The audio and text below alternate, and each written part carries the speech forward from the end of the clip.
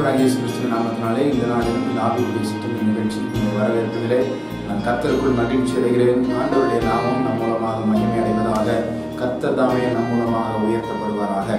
இந்த நாளில் நம்முடைய தியானத்திற்கான வசனம் அப்போஸ்தலர் பதினான்காம் அதிகாரம் இருபத்தி மூன்றாம் வசனம். அல்லாமலும் அந்தந்த சபைகளில் அவர்களுக்கு மூப்பர்களை ஏற்படுத்தி வைத்து உபவாசித்து ஜெபம் பண்ணி அவர்கள் விசுவாசித்து பற்றி கொண்ட கத்தருக்கு அவர்களை ஒப்புவித்தார்கள். உபவாசித்து ஜெபம் பண்ணி. இந்த இடத்துல தேவாலயத்திலே அதாவது ஆலயத்திலே அல்லது அந்த ஆதி சபையிலே ஊழியம் செய்வதற்கென்று மூப்பர்களை நிர்ணயிக்கிறார்கள். மூப்பர்களை நிர்ணயிக்கும் பொழுது அவர்களை சபையின் நடுவாக அவர்களை அழைத்து அங்கே மூப்பர்களை ஏற்படுத்தி அவர்களை உபவாசித்து அவர்கள் அவர்களுக்காக ஜெபித்து அவர்களை பிரதிஷ்டை செய்கிறார்கள்.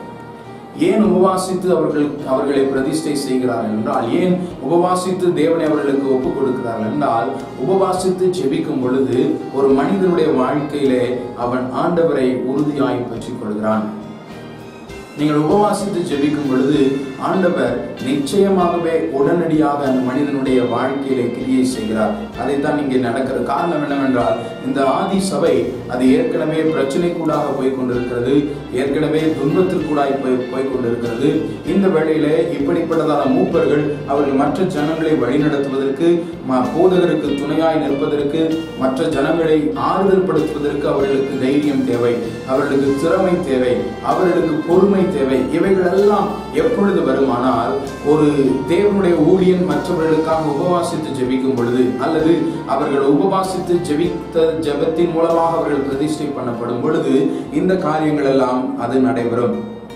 அதேதான் இங்கே நடைபெற்று கொண்டிருக்கிறது. பிரியமான தேவனுடைய பிள்ளைகளே அநேக வேளையிலே உங்களுடைய குடும்பங்களிலே இருக்கிறதான நபர்கள் அல்லது உங்களுடைய குடும்ப உறுப்பினர்கள் அவர்கள் ஆஹ், தேவனுக்கு அல்லது கீழ்ப்படியாமல் ஒரு வேலை இருக்கலாம் ஆண்டவரை விட்டு தூரம் போயிருக்கலாம் அல்லது நீங்கள் ஒருவேளை அவர்களை ஆண்டவருக்கு என்று நான் பிரதிஷ்டை பண்ண விரும்புகிறேன் அவர்களை நான் கொடுக்க விரும்புகிறேன் என்று சொல்லி நீங்கள் விரும்பும் பொழுது உபவாசித்து அவருடைய பாதத்திலே அமர்ந்திருங்கள். உங்களுடைய பிள்ளைகள் உங்களுடைய ஒருவேளை நீங்கள் சொல்வதை கேளாமல் இருக்கலாம் அல்லது ஆண்டவரை ஏற்றுக்கொள்ளாமல் இருக்கலாம். உங்களுடைய கணவன் உங்களுடைய மனைவி உங்களுடைய பெற்றோர் ஆண்டவரை ஒருவேளை ஏற்றுக்கொள்ளாமல் இருக்கலாம். அவர்களுக்காக நீங்கள் உபவாசித்து ஜெபம் பண்ணுங்கள். அப்பொழுது ஆண்டவர் நிச்சயமாகவே அவர்களுடைய வாழ்க்கையிலும் ஒரு மாறுதலை கட்டளையிடுவார். அவர்களும் ஆண்டவரை உறுதியாய் பற்றிக் கொள்ளத்தக்கதாக ஆண்டவர் அவர்களும் ஆண்டவரை ஏற்றுக்கொள்ளத்தக்கதாக. உபவாசம் இல்லாமல் எந்த ஒரு மனிதனுடைய மனதையும் நாம் மாற்றுவது எளிதான காரியம் அல்ல நாம் உபவாசித்து ஜெபிக்கும் பொழுது அந்த மனிதனிடத்தில் நாம் போய் பேச வேண்டியதில்லை. எந்த ஒரு மனிதனிடத்திலும் நான் நேரடியாக போய் நான் பேச வேண்டியதில்லை.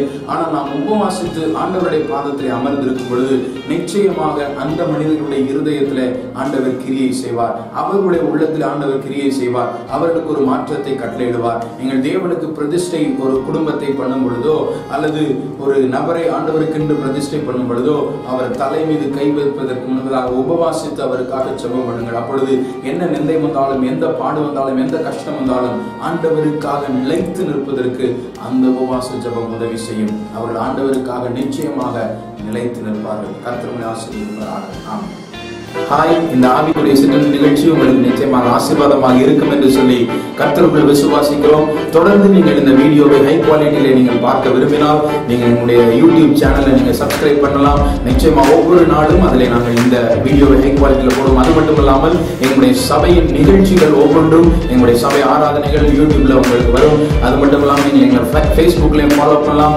நீங்கள் இதை தொடர்ந்து வாட்ஸ்அப்ல பெற விரும்பினால் நீங்கள் கீழே தெரிவிக்கிற வாட்ஸ்அப் நம்பர்ல நீங்க எங்களுக்கு மெசேஜ் அனுப்புங்க. நிச்சயமா உங்களுக்கு அனுபவம் இது ஆசீர்வாதமாக இருக்கும். கர்த்தங்களை ஆசீர்வதிப்பாரா?